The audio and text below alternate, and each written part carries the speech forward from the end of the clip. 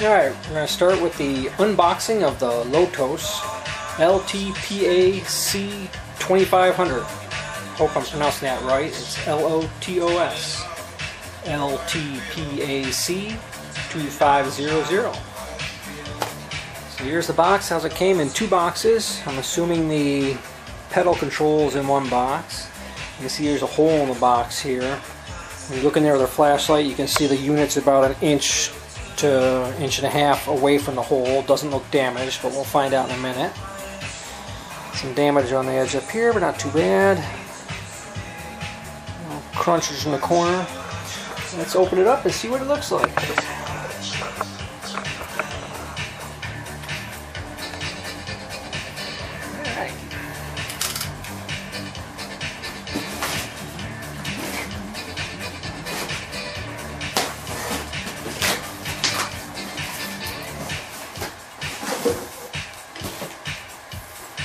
Yes, foot pedal control.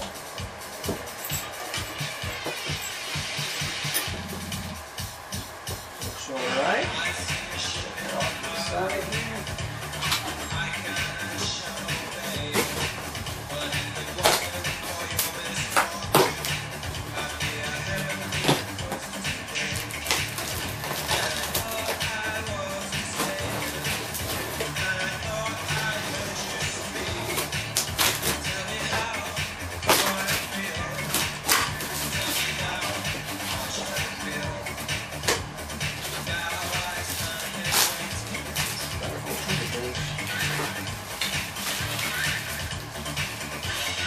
Airflow meter.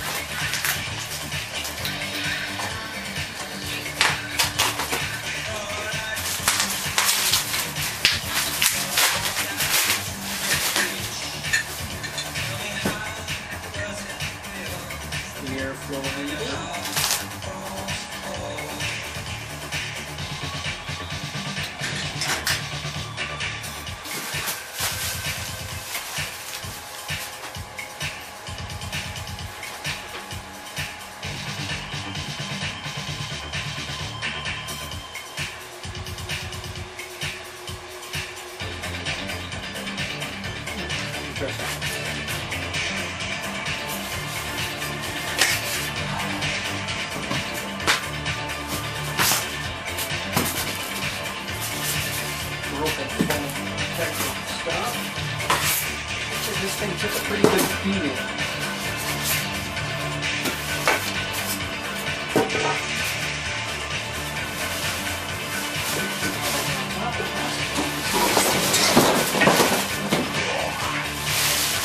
By the way, this thing weighs 78 pounds. That's the shipping weight according to the UPS guy. 78 pounds.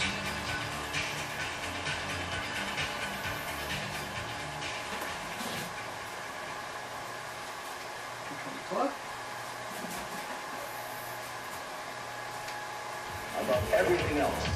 The Looks American good. people want to See any damage anywhere? keep the peace. The. No, Mr. No, no, Mr. No, This is of. Welding. No, Mr. No, no, no, no. Peace America. We have an exclusive report from Michael Terror's live from Paterson, New Jersey. Browning plant.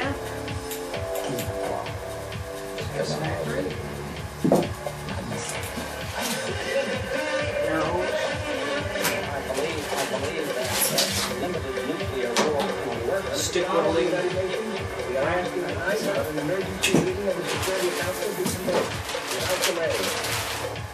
We have an exclusive report from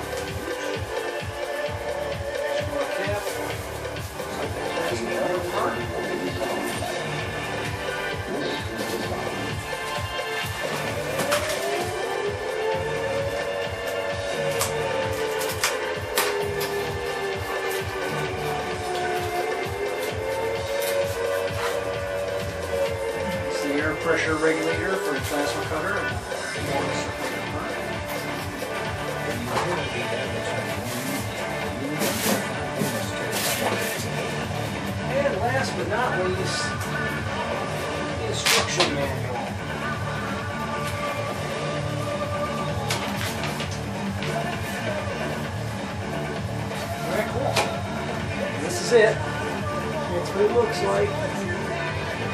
Looks like it survived shipping pretty well. Find out if it works in a little while, and it'll be the second half of the video.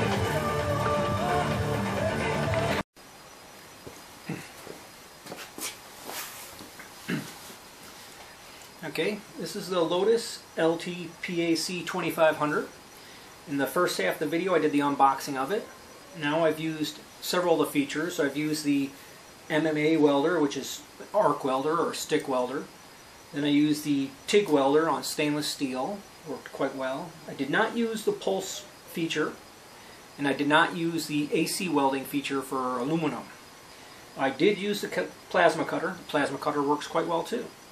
So everything I've used on it works good. I think everything else will work good on it too. The only thing I did not notice during the unboxing, which you can probably see in the video now, is this whole unit's kind of leaning sideways a bit. Apparently the shipping crate was dropped so hard on the ground that it bent in the whole bottom of the unit. And it still works quite well. So my only thing I don't like about it is it really didn't have a very good shipping crate. It should have been packed a little better. But it survived and it works good. So I like this unit and I would recommend it to anyone else who's interested in it. I did see a YouTube video of an earlier model of this unit arcing out on the inside. So I was kind of hesitant to get it at first, but this is a newer model, 2014 model, and it's supposed to have better protection from that kind of stuff. But uh, I like it, works good. I'm very happy with this machine. So I give it a thumbs up. Thanks for watching.